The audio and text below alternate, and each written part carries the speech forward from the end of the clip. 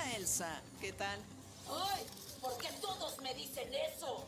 Ay, cariño, déjame ayudar.